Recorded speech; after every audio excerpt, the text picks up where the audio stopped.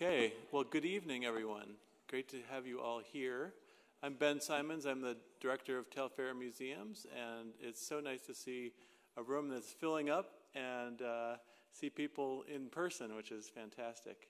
Um, this is the 15th annual Lawrence Lecture, and um, we would like to thank the Lawrence Foundation and Dr. Walter Evans and Linda Evans for um, inaugurating the Lawrence Lectures and supporting them throughout the years and continuing to be so enthusiastic and supportive of, of everything that happens here uh, at Telfair Museums.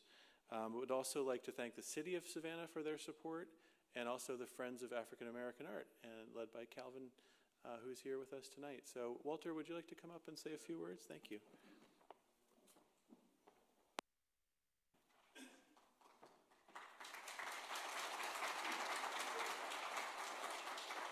Thank you, Ben, and um, welcome this evening. I remember the first time I met Jacob Lawrence in person. I had been in contact with him by phone and by letters before that time, but I went out uh, and took my twin daughters in the mid to late 1970s. Um, since that time, uh, I visited him many, many, many times in Seattle, but saw him around the country at various openings. Um, then one time, it was in the mid 1990s, I got a call from him and he asked if I would be on the board of the Catalog Raisonné project.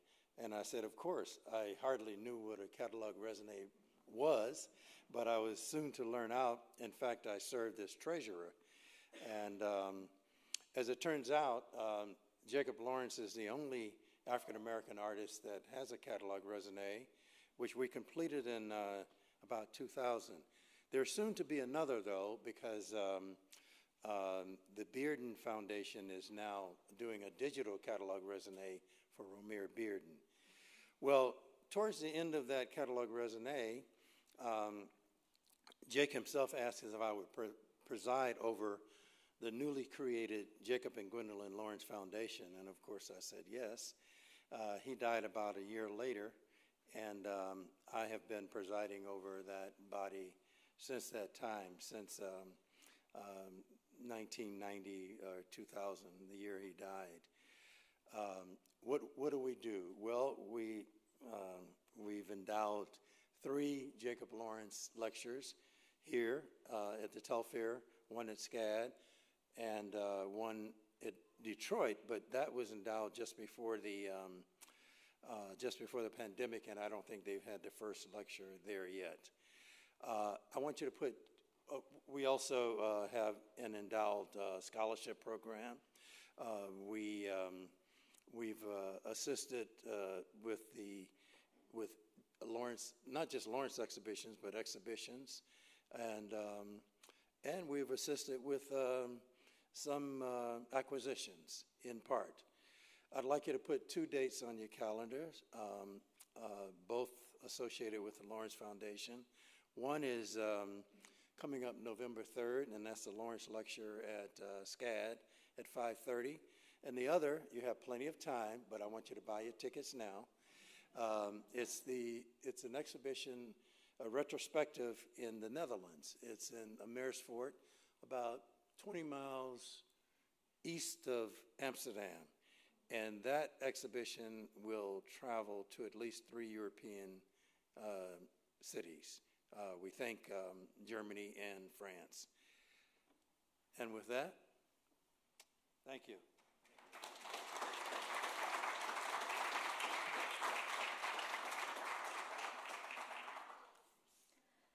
Hi, everyone. My name is Erin Dunn. I'm the curator of modern contemporary art at Telfair Museums. Um, and before we invite our illustrious speakers to the stage, I'd like to remind everyone that the galleries are open so that you can view elegies after the lecture, um, and also encourage everyone to check out the FAAA members exhibition, which is on view in the second floor community gallery. Uh, this lecture will also be followed by a reception hosted by FAAA in the atrium. I'd also like to um, recognize Calvin Woodham, who's the current chair of FAAA, um, and the great work that he's been doing in that role, um, as well as invite. if you're part of FAAA, I'd love if you could stand and we can all kind of give you a round of applause.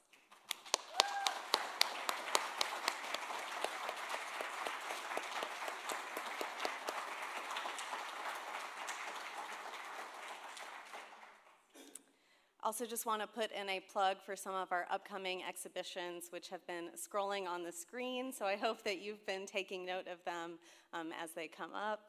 Uh, I especially want to point out an upcoming uh, contemplative viewing series uh, by Erica Phillips. The next one will be Thursday, September 29th, and that will be associated with the Elegies exhibition.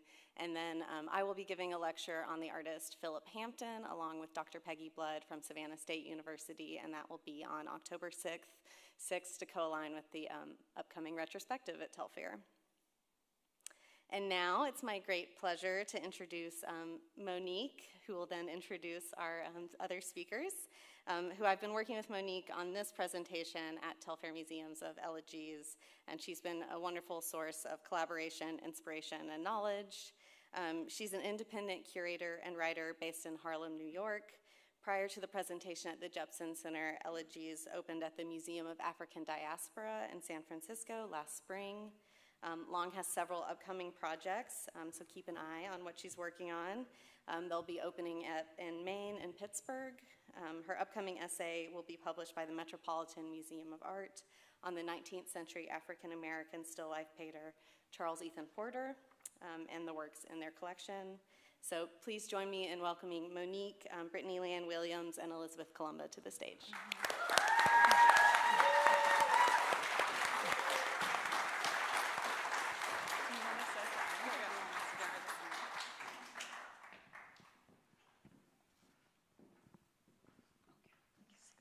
What do you think? Yeah, it's all right. Yeah. Okay. All right. Thank you, everyone at Telfair for being such uh, generous hosts, and to the Evansons for um, sponsoring our talk tonight. I'm so happy to be in Savannah and to lay eyes on the two. I know. It's, it's, it's, um, it's been quite a bit. And um, uh, I want to make an announcement that David Antonio was unable to join us this evening um, due to some uh, conflicts back in New York. Um, but I'm so happy to be in conversation with the two of you uh, tonight. We're going to be talking about uh, still lifes vis-a-vis both of you reference ancestral your your respective an- ancestral land uh, i- in your work.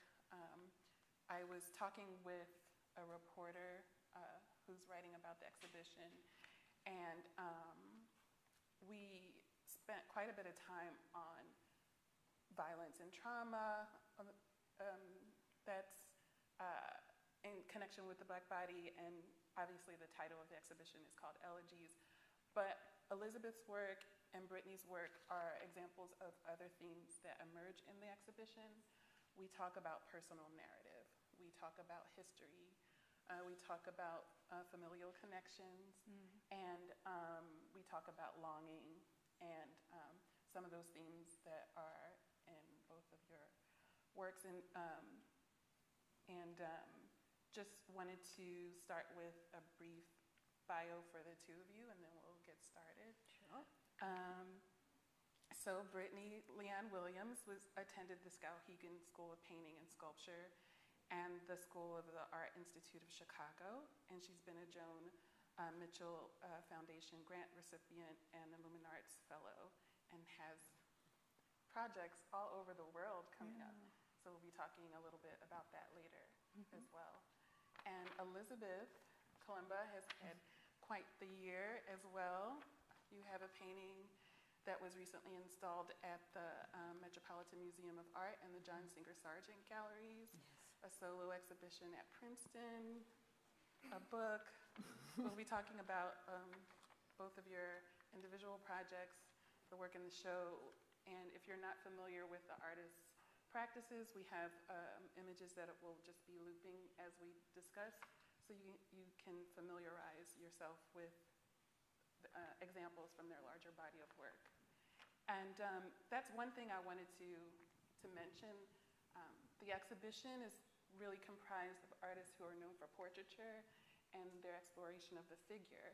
These are much, very much outliers in both of their practices, but for different reasons. And I wanted to start with Brittney. We talked a little bit about this this morning, but for the sake of this audience and this panel, um, I met you in Chicago, I think in 2019, Yes. and was instantly drawn to your work. And um, I, I don't remember where I saw the, the work that's in the show, but I asked you about it. And um, you said to me, This is not really what I do. I don't know why I would be a part of this. Kind Can you talk about uh, your hesitancy and Yeah. how you resisted a little bit when I invited you to be a part of the exhibition? Yeah. Well, like I mentioned this morning, I think I have um, maybe we've discussed some healthy suspicion around um, curation and um, the the uh, the the power that curation can have on an arts practice.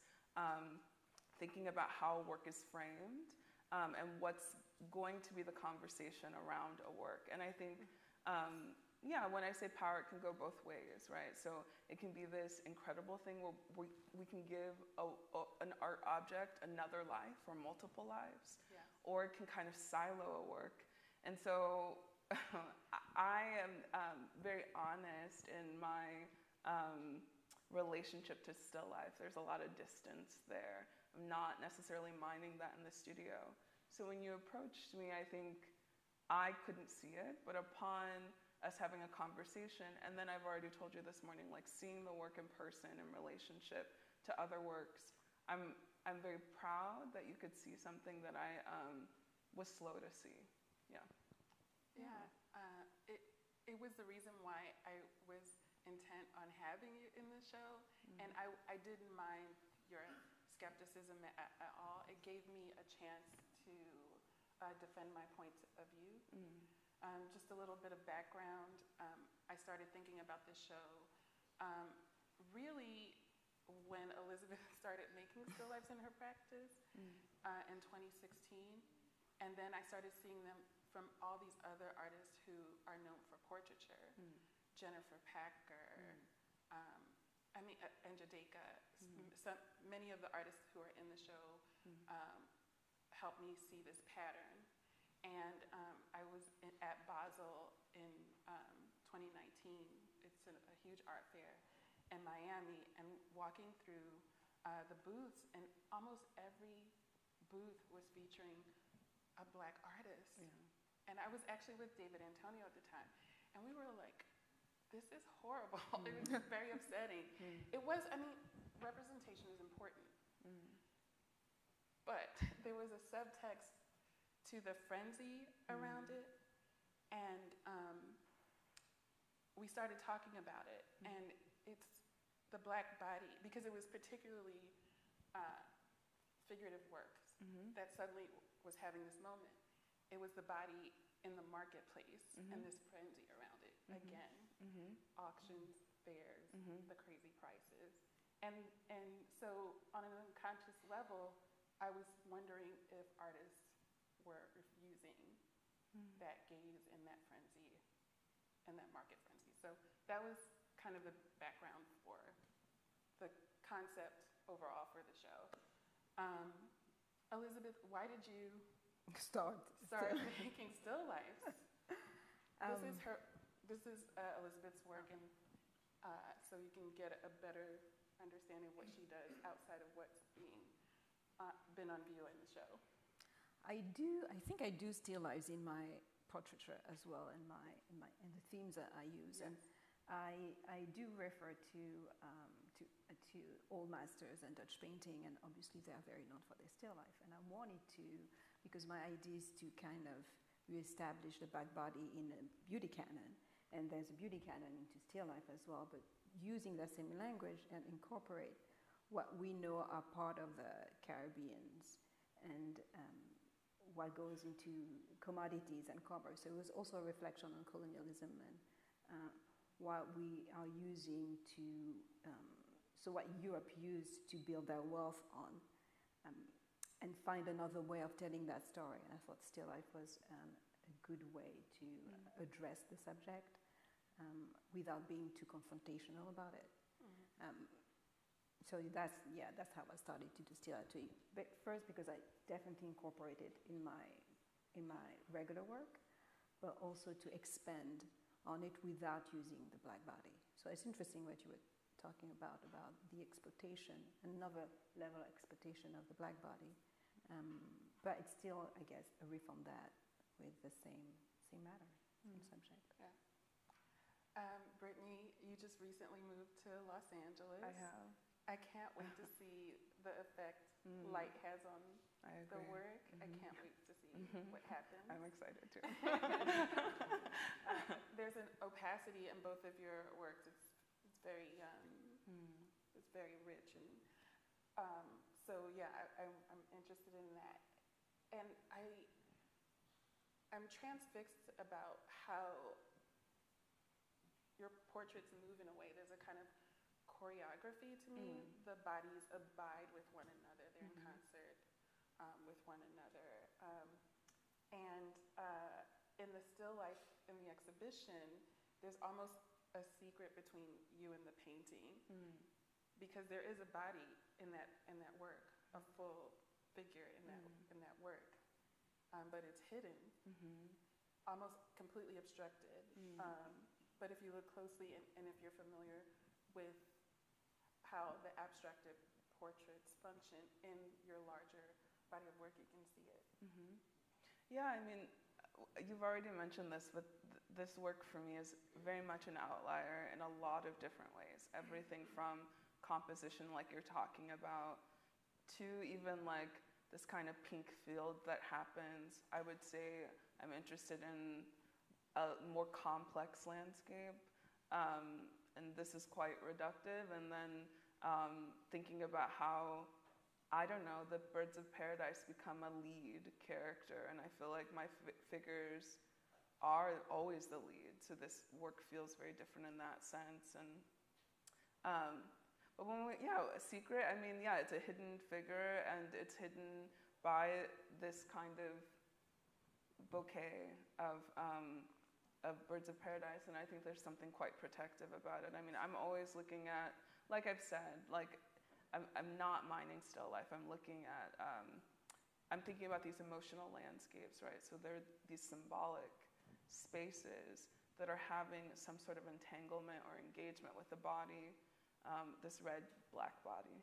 Um, and so, yeah, I, I think the camouflage is the secret or this kind of protective um, action that these plants that look very much like live birds to me are, um, yeah, playing a guardian of some sort. Um, a lot of elegies is about the departure from traditional still lifes. Mm. Obviously, that's represented in the exhibition, but there's a lot of hybrid as, well. I think with coconut, obviously, it's a, a vanitas still life in, in the most traditional of senses, Right. um, but also while being very black. um, I, first, I wanted you to talk about those signifiers in coconut, but also um, the ways in which there are. It's a hybrid. To me, it also seems very allegorical, as as well as 1492 is an allegory. Uh, it's a still life, but it's not. Um, can both of you? I'll ask the hybrid question to both of you, and then I want to ask you about the sort of black signifiers in in coconut. Do you want to speak to the Yeah, hybrid first? Sorry. Um, so, so when you say hybrid, though, I, I'm interested to like um, hear more of what you mean. Like, because yeah, I mean, I, I wouldn't even. Uh, for me, I'm not thinking about um, these the the uh, the marriage or like the the blurring of the line. I'm making paintings. Yeah, like I'm I'm um, making iterations, Right. right. So like one painting uh, resolves uh, this conversation about this, and it leads to another painting. I wouldn't say I'm, I'm um, in the studio thinking about these relationships. I think when I meet with you over coffee, these relationships are made, or the language is placed on the work. Yeah. so we view it from a different vantage point. Um, but yeah, it's hybridity. I don't know. It, uh, it, it just it happenstance. It happened. Yeah, yeah. yeah. So that's. I mean, a lot of what I do as a curator is construct meaning around what art, artists are doing, what they're not doing. Mm. But a lot of times, you know, I I will be um, um, disabused of some of the the meaning um, that I, I might assert on a, a work. Mhm. But it, I guess I'm I'm talk m- what I'm talking about is the departure from still lifes, Mm. but also um, the combination Mm. or the blending of all these ideas in one place Mm. that begin at a, a particular genre that's I Mm. mean really what is what is a still life in today's Mm. in today In It's today's world. uh, uh, obsolete so did you want to talk about that or do you not agree with me either I mean, the, I don't, it's not that I don't agree. I it's don't- simply I'm pushing back. I'm like I'm being honest about I where think, I'm at. yeah, there's Yeah, uh, yeah. to a certain degree, there's no bad interpretation of art. I mean, Mm-hmm. I come here with, you know, what I paint and what I do, Mm-hmm. and the same way you do. And it's quite enriching sometimes, I mean, most of the time, Mm-hmm. to see how people see your work and they can find things that you probably didn't think before. Even for, I don't believe there's any coincidence. I think maybe you did Mm-hmm. not realize, but I think it's there. So, um, so there's nothing to be wrong about. There's no, it's like there's no wrong choices Right. or no wrong saying.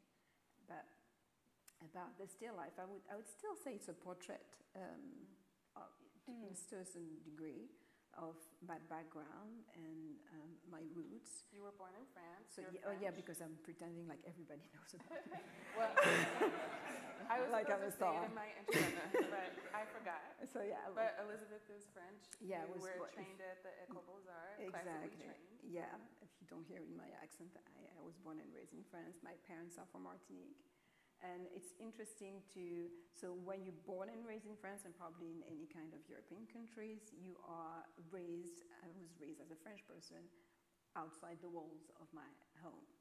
But in my home, I'm somebody from the Caribbean, I'm somebody from Martinique. So we're eating, you know, food mm. from the Caribbean. We mm. have, you know, we celebrate holidays, uh, customs, and so this it's like two worlds living together. Mm-hmm. And I believe, if I do things right, that these words cohabit in my work, and they certainly do in the still life. Because when you see a traditional still life, when you think about Dutch masters, that's, that's what I'm calling traditional. Uh, it's the same technique, it's the same uh, subtext about f- death and life and the fragility of it. But because what I choose to represent are only commodities from the Caribbean, I hope it gives another layer to it. Um, and I do put signifiers, uh, like, for example, you see in one of them, you have a fabric of madras, which is this fabric that was imported from India, but is now becoming, now became a custom in uh, the Caribbean, uh, in the traditional, um, I guess, outfit would be the name. Um, and you, in, in one of them, in avocado, also refer to um, some prints in the back. One of them is um, from Hogarth about Columbus, so it's also an allusion to who discovered uh, um, um, the Americas and the, the islands. So I think it's that that's even though it's still life and there's no figure in it per se, it's still a portrayal of who does it. So maybe that's where the hybrid comes into play. Yeah. There was, um, you mentioned the Hogarth print, Yes. which is, is the work within the work that Yeah. you reference and quote. And it's a story about, um, I don't, is this a, an, a true story or is it just like a, a, a myth? It's it's probably there's no way to find out. There's no way, really. okay. But So yeah. essentially in this, sto- uh, this story, Christopher Columbus is being taken to task for um, supposedly discovering America. His colleagues in, in a contemporary moment are saying, what you did it wasn't a big deal, anyone could do it. They're giving him a hard time about it. They're not wrong. right. right. And um, so he makes this analogy with an egg, and he um, challenges each of his cohort to try to stand try to stand this egg um, upright. And they try and they try, and none of them can do it. And then after Columbus proves his point, he proves his point by yeah. smashing the bottom of the egg and it sits upright. So- it's so rich. it's such a rich analogy, and it's in that print that's above the avocado. Yeah. And another beautiful coincidence is it's also the actual print is in the museum's collection, which I know. Elizabeth I had no idea, I swear. so wild. Yeah. She told me that um, earlier, like she was telling the group, the docents, we were going through like a training and a tour, and she said that, and I, like, I could not get over. it. I talked to her again when we were walking to lunch about it. I think the magic of that, um, and like this kind of weird prophetic nature of that, where this work happens to land in the very collection. It's wild. Yeah. It's completely wild. So almost, like- yeah, it's a bit scary to a certain mm-hmm. degree. Mm-hmm. it's like something happened before I knew it was going to happen. It's that, that, that type of thing. So mm-hmm. yes, it's quite magical. Really. Yeah. So you're pulling all these references, which is another kind of hybrid in a way. Um, you know, experience of being black in America, experience of being black in France, your heritage as someone from the West Indies. Um, I wanted to talk about um, something else that I will look at here, but um, I wanted to touch upon something you mentioned earlier at lunch today. You said red is a black body. Or it was so I, I couldn't. I was so preoccupied with so many things that were happening leading up to this that I, I really wanted to have a conversation with you about it right then and there, but we couldn't. You said red as a black body reads differently in different contexts. Did you say Oh, that? yeah, yeah. So uh, I was talking about how my work has moved, Yeah. right? So, like, um, when it's not in the US, red has um, very different, um, it has a very different relationship to um, the public. And um, then you add on that it's a red body, and it starts doing other things. So I, in, in the studio, am um, thinking about this red black body, right? So using red, and we can talk about red as a method to speak to blackness, which the yeah means everything and nothing, right? It like expands and contracts. But um, when uh, I've had um, uh, reflections from individuals um, who um, are Indian, and like a red god or or like a red figure points towards a deity of some sort. Um, and so I've, I've really enjoyed how, um, I kind of said it around curation, but how my, these images or these paintings, these figures are registering differently um, to different collectives and, and what that could mean. Like that I'm, that all of this, all of a sudden this black female figure registers as a deity somewhere else. I just find that um, really dynamic and interesting. Um, and I don't think it makes the truth of what was happening in the studio any less. Um, it just, again, can have many lives or, or play many roles.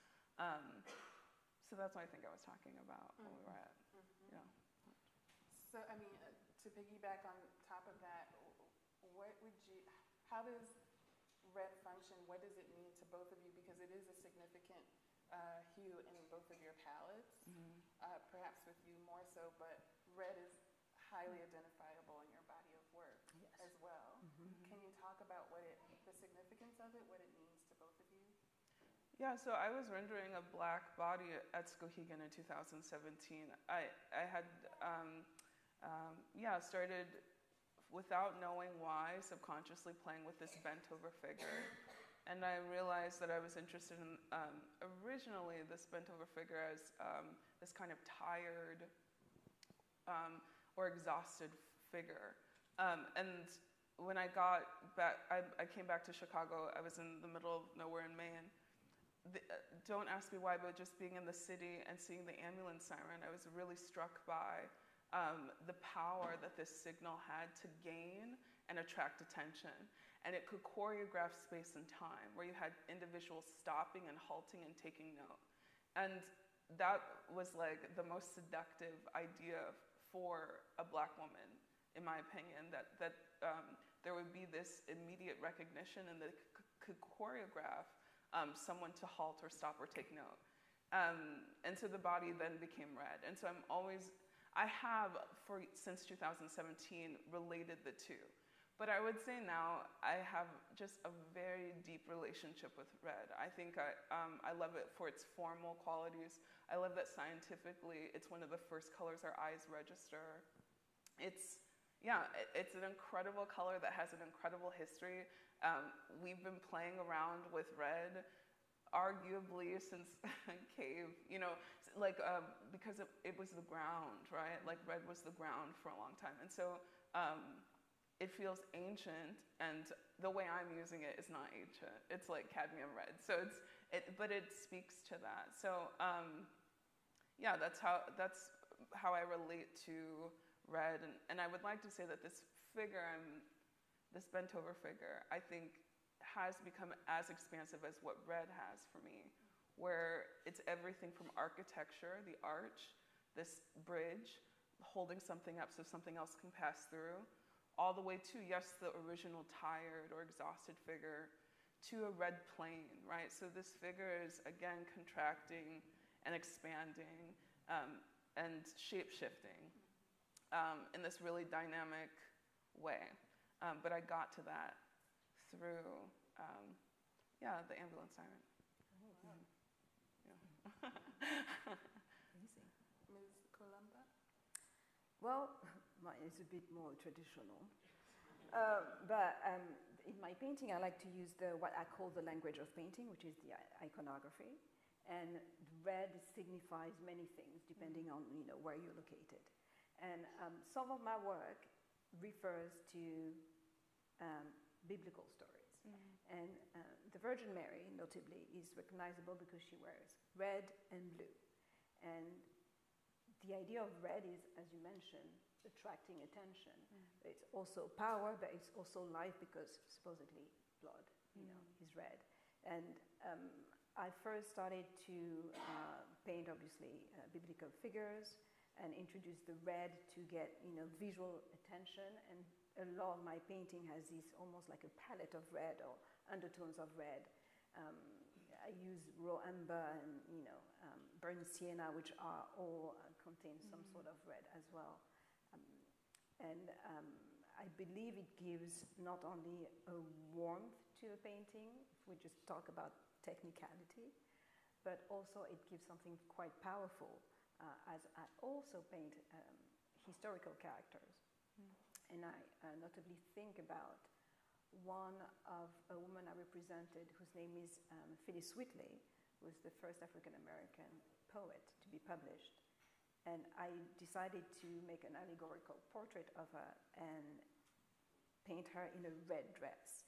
And the entire uh, palette of the, the painting is muted, is brown, and it's almost as she jumps out of the, of the, of the canvas. And um, I think sometimes it just serves the story of the character mm. and the storyline to have this powerful color. So I, li- I just love the power of red, mm. really. Wow. Um, Brittney, you just you uh, equated the body as a sort of, um, I think you referenced the bridge, mm. and I, I, love some of the titles of the exhibitions that you've had. Mm. As, port, as the body mm. as a mm. portal, mm-hmm. as a, a, as a door. These are all transitory mm. spaces, mm-hmm. um, and I just I think it's so poetic to think about um, matrilineal connections as mm. the entering through to something mm-hmm. else mm-hmm. uh, those those kind of familial uh, connections and ties. Can you talk about more more about that? Yeah, um, like um, when I was saying iterations, um, if you like just continuously rendering the figure that shape, um, a circle was formed and an arch was formed. And I didn't know that I was interested in architecture until I found that in the body. But once I did, I, I was so um, uh, struck by how the arch does speak to my mother and my grandmother, Cer- like without cert- like I'm so certain about it. Mm-hmm. Um, I'm thinking of a keystone, right? Like it, th- this um, part of the architecture, part of the arch that is bearing a, a significant amount of weight, but it's so um, uh, well positioned that it, it, can, it can bear it all, right? It can, and I mean, I, w- I want to be careful how I'm tra- talking about um, black women, but I, I do think that there is something to that when I think about my grandmother um, or my mother and how, in bearing that, something else can pass through. It cre- it's creating a portal, it's creating a new entrance, it's creating um, uh, an invitation to step over the threshold. And so, um, yeah, I, I, mean, again, I, I, would not claim I love like Roman arches, yeah. but but now every time I see an arch, it speaks to the figure I've been mining, mm-hmm. um, and so all of a sudden I'm really interested in like.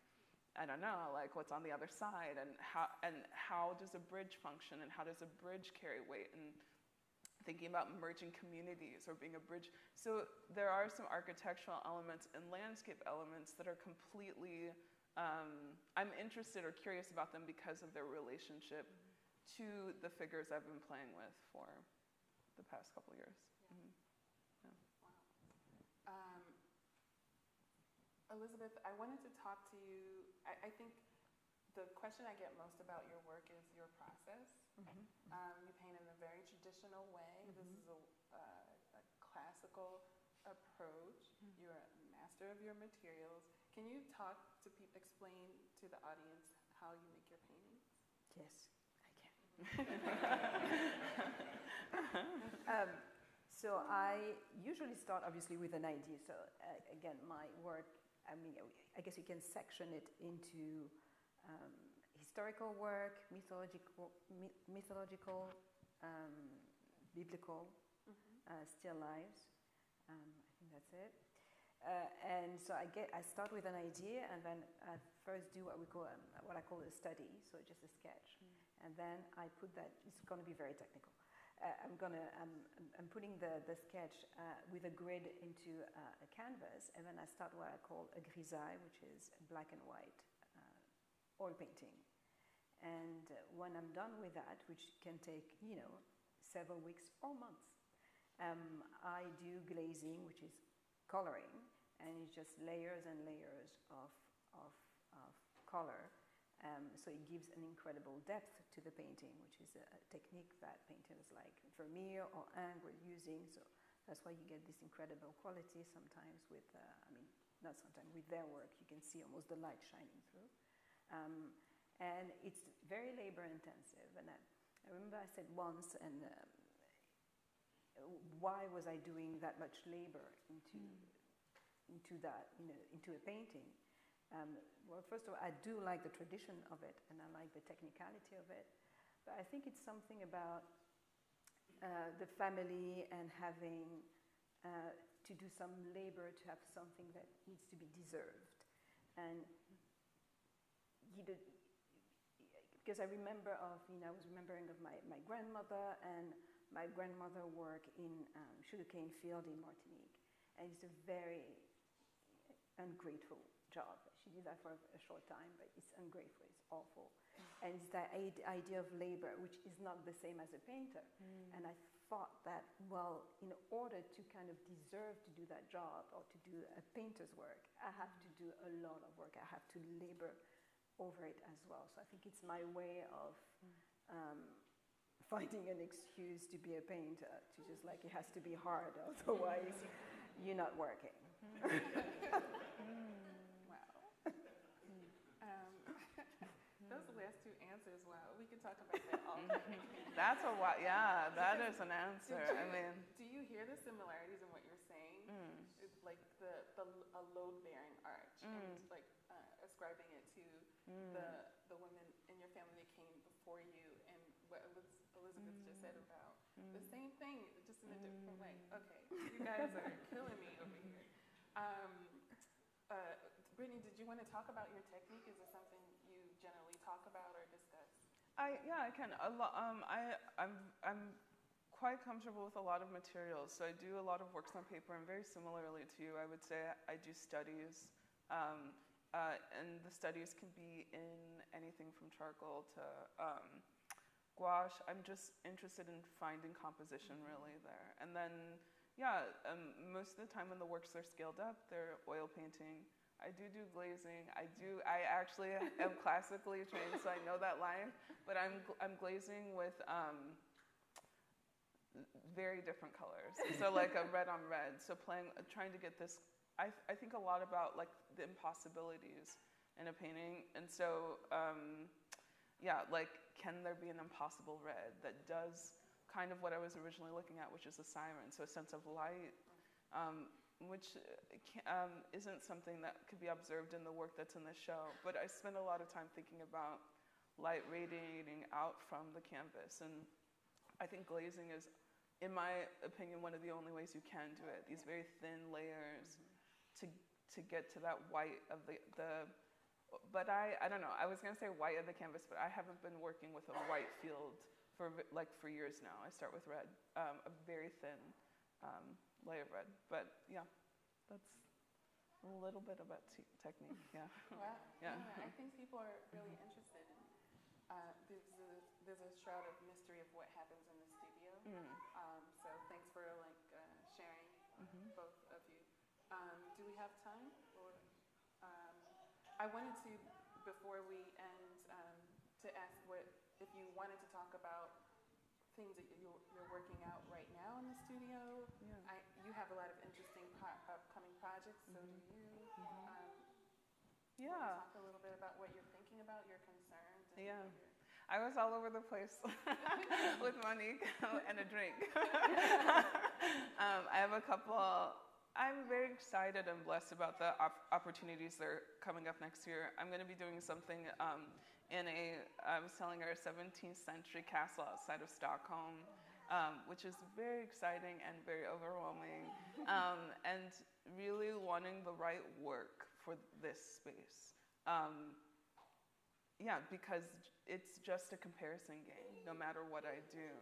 Um, the, this space is so charged, and so just trying to find the right relationship um, with this really exciting project. So that'll be in February, March, and then um, I'll do something in Antwerp in September, um, and that feels a little bit more playful. I'm, I'm thinking of, I did a series of doors, um, a couple, um, and when I say doors, I was literally looking at the scale of a door. So 80 by, I think it's 32 slash 36 by 80 inches is what an American standard door is. And because I was thinking so much about portals, it felt like the, the appropriate um, next step. And so I'm going to be probably doing something along those lines um, in September with that, with that space. Mm-hmm. Mm-hmm. So what are you thinking about in the studio right now? And um, what's, what's... I have a list of things. So um, um, also I have a thing that I'm doing. It's I do series of things. Mm. So I start a thing. I'm like, oh, I'm going to do five or seven on this one, and it takes me years mm. to complete them. I only completed one in my lifetime, which is kind of sad.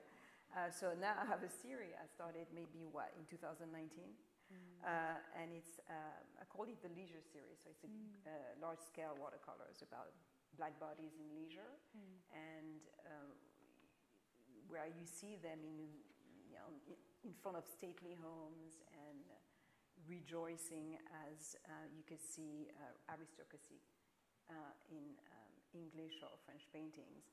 And the idea is to understand um, does the black body in leisure is still as scary when you surround it with uh, elements of luxury, or is it not a threat anymore?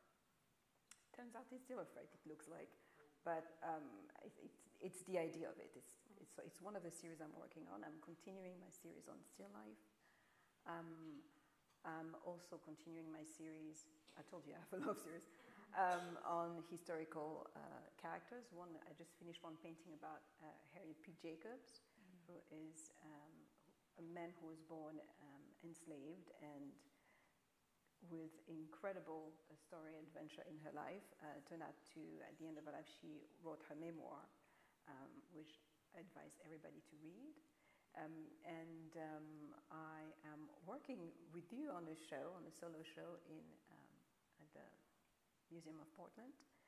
And uh, I also did um, a graphic novel uh, that was released in France last year and will be released in the US in January 2023 about a historical character uh, named Stephanie St. Clair, a woman from Martinique, who became a kingpin in the 1920s in Harlem. And at the same level of Al Capone, but nobody talks Mm. about her.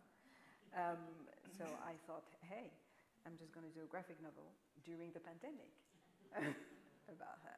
So that's some of the things I'm, I'm doing.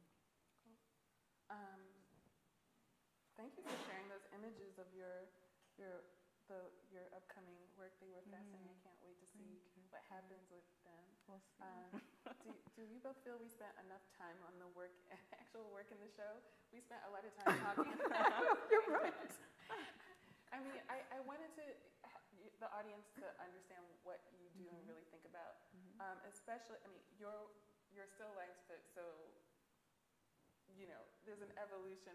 Uh, of course, you're you're going to do still lives, but for Brittney, it's it's very much an aberration in Yeah. your body of work. Mm. It- the scale, Mhm. people are always surprised at how intimate, Intimate, it, is, yeah. it really is, and the figure ground Mm. relationship. There's so Mhm.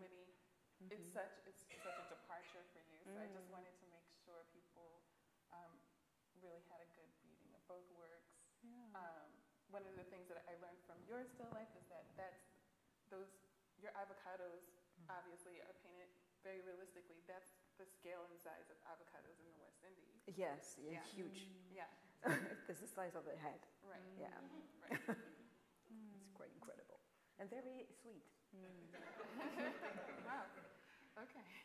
Um, is there anything that I missed that you would love to sort of point out about the work that you want the viewer to understand about each of your your works in the show? I don't think so.